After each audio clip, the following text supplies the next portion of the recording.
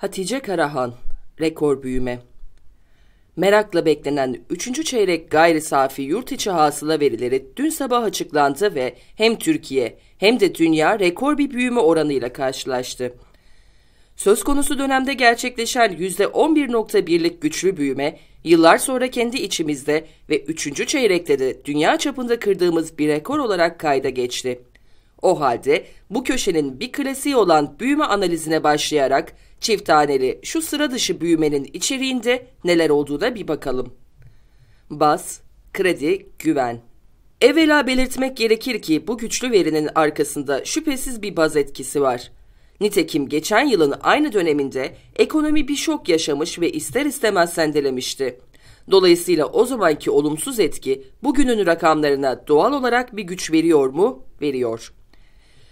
Bir perde arkası dinamik olarak da böylesi talihsiz bir dönem sonrası hükümetin kolları sıvaması ve ekonominin arkasında durma kararı alması rol oynuyor.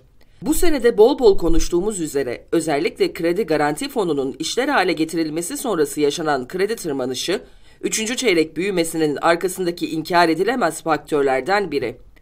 Şahsen büyümeyi destekleyen bir diğer ve aslında bağlantılı temel unsurun da güvende yaşanan toparlanma olduğu kanaatindeyim. Bu bağlamda yatırımlardan turizme kadar uzanan çeşitli dinamiklerde yerli ya da yabancı aktörlerin kararlarını pozitif etkileyen bir atmosferde okunmuyor değil. İç talebin gücü. Bu detayları not düşmüş olarak şimdi gayri safi yurt içi hasıla rakamlarının doğrudan söylediklerine bir göz atalım. Harcamalarsa bakacağımız ilk resim olsun. Bu minvalde önce iki ana gruba ayıracak olursak, üçüncü çeyrek büyümesindeki motor gücün iç talep olduğu çok aşikar. Zira kalemlerin detaylarını hesapladığımızda %11.1'lik büyümenin 10.8 yüzde puanının iç talepten geldiğini anlıyoruz. Dış talepse bu durumda 0.3 puanlık sınırlı bir destek sunabilmiş gözüküyor. Neden derseniz şimdi alt detaylar. Öncelikle iç talep verilerini irdelersek burada tüketimin şaşırtıcı gücüyle karşılaşıyoruz.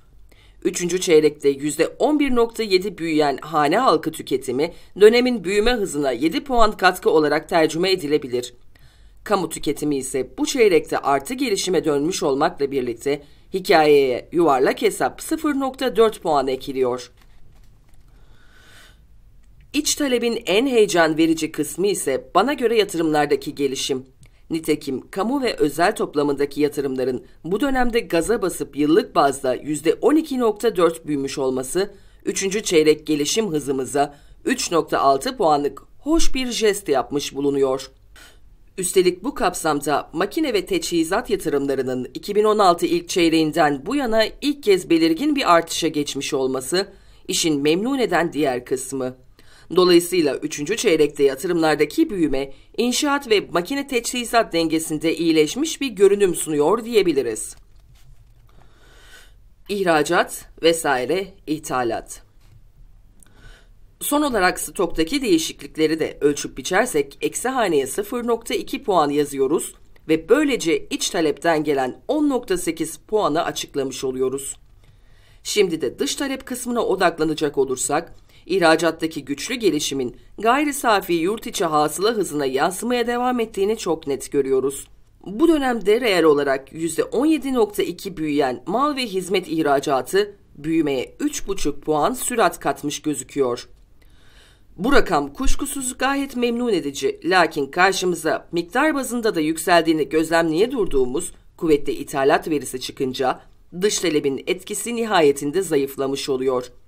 Zira aynı dönemde ithalat %14.5 reel artış kaydedince net ihracatın büyümeye katkısını yukarıda bahsettiğim 0.3 puana düşürmüş oluyor. Üretimin resmi.